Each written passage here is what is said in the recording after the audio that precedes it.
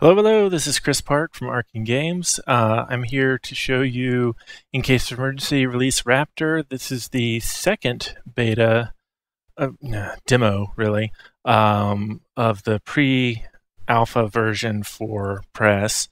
Um, right now what I'm showing you is actually the level editor. Um, this is something that uh, has been consuming a lot of my time in the last little while. Um, our release is delayed slightly. Um, instead of coming out on the 5th, which is, as of this recording, two days from now, uh, we're aiming at the 8th instead.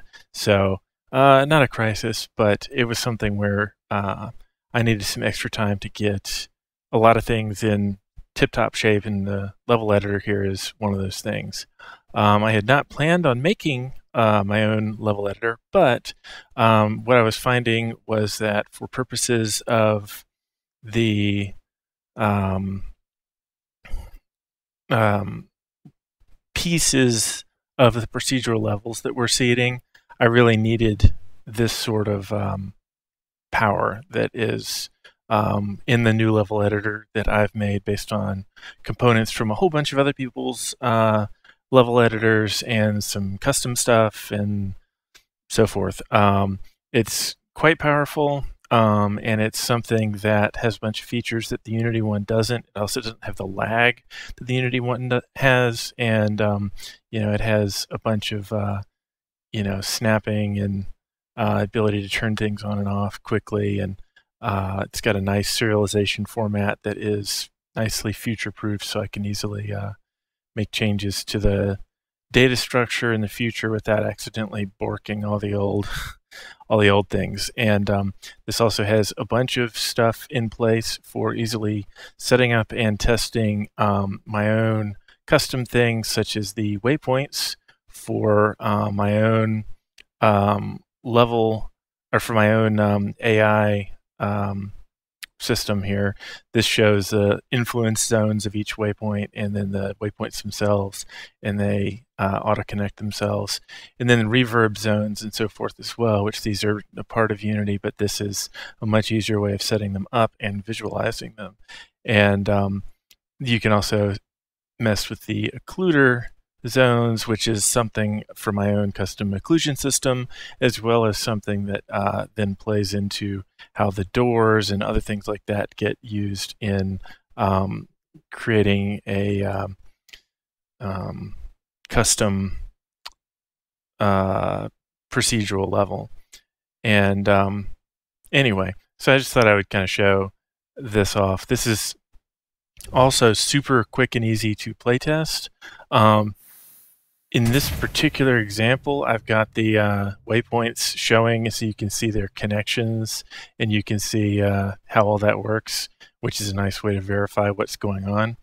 Um, one thing that you will notice is that this is now a first-person game, which is um, something that I think is really cool and um, really gives a lot of immersion that I was personally feeling was lacking uh, from the third person view.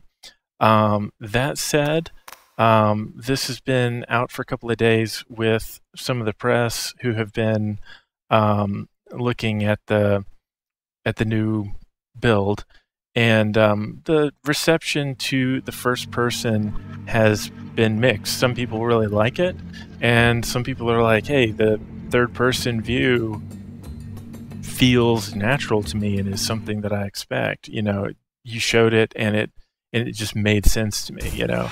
And um, and I can see that. Um, I'm really pleased with how this first person view um, works. You do have the raptor right over there on the side so that you actually get a sense of seeing the raptor, but the view is centered. So in a lot of respects, it's kind of like a first person shooter. The raptor is your gun. Um, and um, I've even added a little aiming reticule because some folks were commenting that that was needed. Um, all that said, because of the feedback of folks there, um, it's become clear that even though I still think um, this is a better way to play most of the time and is a for me, it just feels neat. Uh, you know, I feel like I'm, I am the Raptor more. Um, this is something that hasn't gone over with everybody. um, and um, yeah, I'm playing super sloppily, as you may notice. Um, at any rate, so I'm going to have both modes. Um, there are a number of problems with the third person mode that the first person mode solves, such as the ability to aim. Um, that refers to the slap shots and so forth. I'm not sure exactly how I'm going to handle that. Um, aiming the lunges is something that you can do now, like uh, in the first person mode, which is super useful. Um, but that's something that uh, I'm not sure exactly how uh, to handle that in the the lunges part is actually fairly easy in third person because nobody's going to care. Uh, the way that it worked before, it's kind of a Super Mario 3D World sort of approach, and that works. So, in the third person view, I'll have it work that way, like it always did. And in the first person view, um, I feel like this gives you some extra control, and it's pretty cool. Um, you won't have or need a reticule in the third person, and you can turn it off anyway. Um, the um, aiming that you're able to do um, when you're in the first person here is something that um, this bit I don't know. Because before it was auto aiming right back at the um, right back at the robot that you're fighting. And that's something that just makes it too easy. So either this will be something that's just less effective in third person, or I'll have an option to turn on the auto aim, or possibly when people want to, um, you know, I'm going to make it so that people can, at just the press of a button, probably on the keyboard and mouse, make it tab, and then make it some other button that's really convenient on the uh, uh, gamepads.